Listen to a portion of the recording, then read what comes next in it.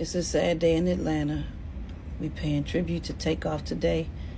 I'm looking out the window at the radio station where I'm doing the morning show, and it's gonna be at the State Farm Arena. R.I.P. Takeoff.